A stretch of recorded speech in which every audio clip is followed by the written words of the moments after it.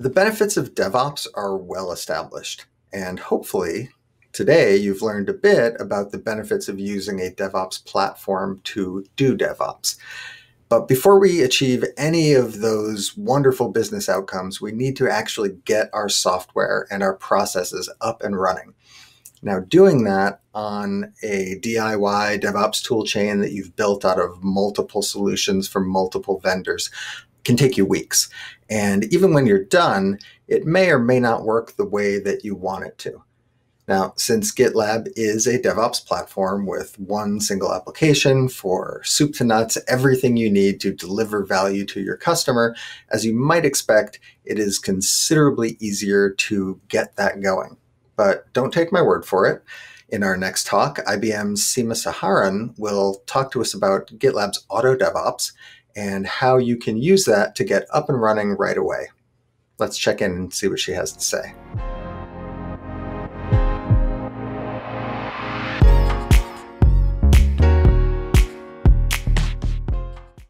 Hello everyone. In this talk, I will discuss about Auto DevOps with GitLab CI. Before jumping to that, I would like to introduce myself. I am Seema Saharan, currently working as an Associate Systems Engineer at IBM, and these are my handles for GitLab and Twitter. So, the workflow of this session will be stages in GitLab pipeline. What is Auto DevOps? How to enable it and integrate with the Kubernetes cluster. And uh, finally, I will show you the demo how you can trigger Auto DevOps in your project. So first things first, the stages in a GitLab pipeline. So there are 12 stages. First is auto build, auto test, auto code quality, auto SAST that is static application security testing, auto dependency scanning, auto license management, auto container scanning, auto review apps, auto DAST that is dynamic application security testing, auto deploy, auto browser performance testing, and finally we have auto monitoring. So, what exactly is Auto DevOps? GitLab Auto DevOps helps to reduce the complexity of software delivery by setting up pipelines and integrations for you. So, you don't have to worry about writing your pipelines or your YAML files. GitLab does it for you you don't have to worry about that. So if you don't like uh, writing your yaml files so it will be a benefit for your project. So using auto devops you can detect the language of your code automatically build test measure the code quality because usually we ignore code quality in our project. So and that is very very important also we can scan for uh, potential vulnerabilities, security flaws, licensing issues, monitor in real time, and deploy your. Uh, you can deploy your applications directly to the cluster. So, how to enable Auto DevOps? So, for that, you can go to settings and then CI/CD, and then you will find lots of options. And the second option will be for Auto DevOps. You can expand that section and you can enable it and you can also decide which environment you want to enable it for. So if you want that you directly uh, deploy your changes your code into production you can select the first options.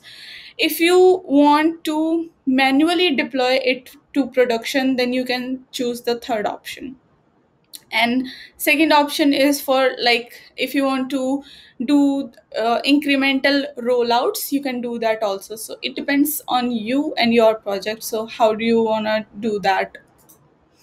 Next is how you can integrate a kubernetes cluster. For that you need to go to infrastructure and kubernetes cluster and then click on integrate with the cluster certificate. So there will be two options. You can integrate with either amazon eks or uh, Google GKE. In this uh, demo, I have used Google GKE because it's much more easy to uh, integrate it with GitLab. Um, if you are already working on Amazon EKS, then uh, it's okay. Uh, I used uh, Google GKE in this demo. So after you integrate with the cluster, it will be like this. You have you will have a Kubernetes cluster uh, displayed on your Kubernetes cluster section. and i know the name is uh, eks um, yeah i forgot to name it as gke so but that's okay okay so it will show you the nodes and your core cpus and uh, memory it has and everything about that cluster and you can also click on that cluster to know more information and you can also integrate prometheus and um, elastic to know the metrics of your cluster so after you do that, after you integrate your Kubernetes cluster and Auto DevOps, uh, you enable the Auto DevOps, you will see in your project, uh, the main uh, repository, you will see that these two options will be there. That Kubernetes is there.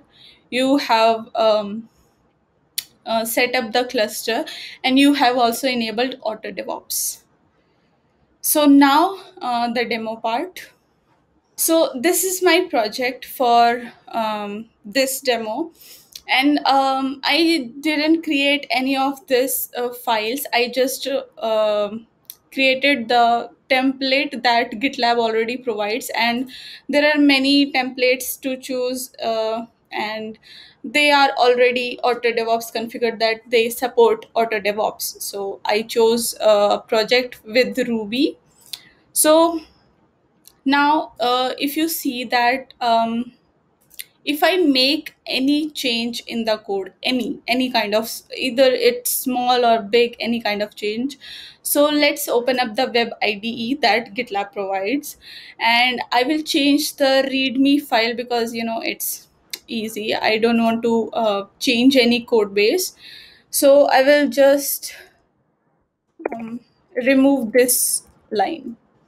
Testing auto devops. Uh, i used it a few days back for testing purpose. So uh, i just want to remove it and i will keep this line as it is. So i will commit this change and i will say that deleted testing auto devops in readme file.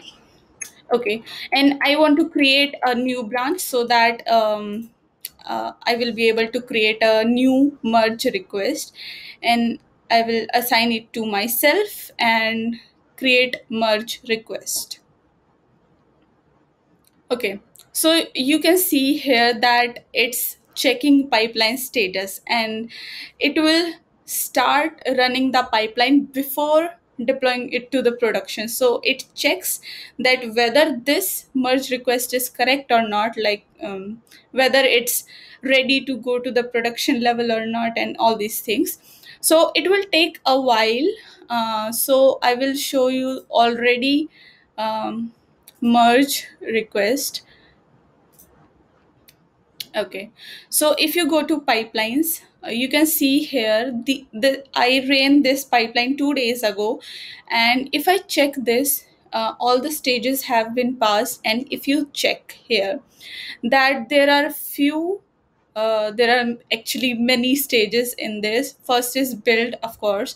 Second is test. And test there are multiple kinds of test in this. And next is review dast that will uh, check the security. And next is performance. And uh, the last one is cleanup. So all these changes will be after uh, it merges okay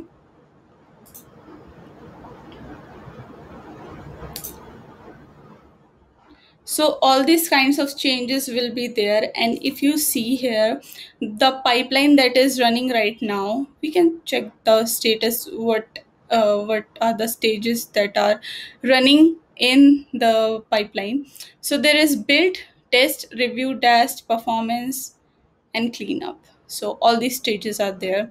And it takes a while to run all these pipelines and uh, finally come to the cleanup stage. So uh, that's okay. And also we can check um, what this particular stage is doing like uh, okay. So it is um, building the docker file uh, since the project has uh, not uh, the docker files so it will just uh, use the docker file doc, docker file that auto devops has. Okay so uh, all these pipelines were passed and some of them are failed but that's okay. And the past one we can check all the information here. It was this. So after uh, okay if i revert it back let's revert it back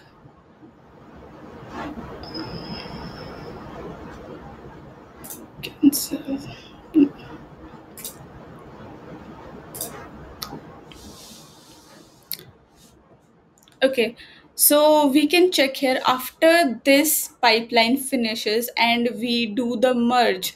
Uh, all the pipelines will pass and then we will do the merge because it's ready to be in production.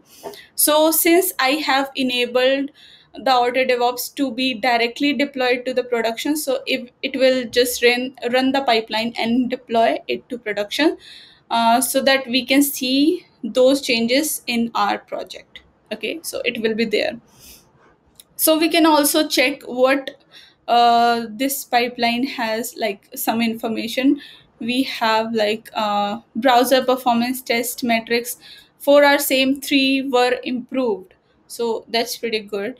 And we found one high um, we got some vulnerabilities.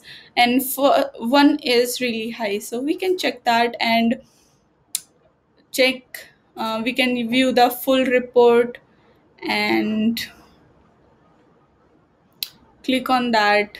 Uh, we can also check what uh, kind of uh, security issues are there and which file is causing that. So we can also dismiss this or create a new issue and correct that and everything. So gitlab provides all of the, the all of these things because usually we can't find them.